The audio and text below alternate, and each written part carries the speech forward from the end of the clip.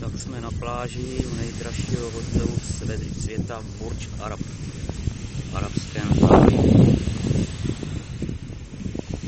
Teplota vody 30 stupňů, teplota vzduchu 36.